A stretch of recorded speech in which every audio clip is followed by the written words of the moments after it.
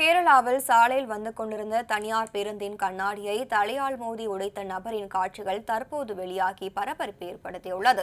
கேரள மாநிலம் மலப்புரம் மாவட்டத்தில் உள்ள பெருந்தல்மண்ணா நெடுஞ்சாலையில் வந்து கொண்டிருந்த பேருந்தை வழிமறித்த ஒரு நபர் திடீரென பேருந்தின் கண்ணாடியை தலையால் இடித்து உடைத்துள்ளார். பேருந்து ஓட்டுநர் கீழே இறங்கி வந்தபோதும் தலையில் ரத்தம் சொட்டு சொட்ட அவர் உளறியபடியே இருந்துள்ளார் காவல்துறையினர் மேற்கொண்ட விசாரணையில் அவரது பெயர் ராஜேஷ் என்பதும் அவர் மனநலம் பாதிக்கப்பட்டவர் என்பதும் தெரியவந்தது. வந்தது.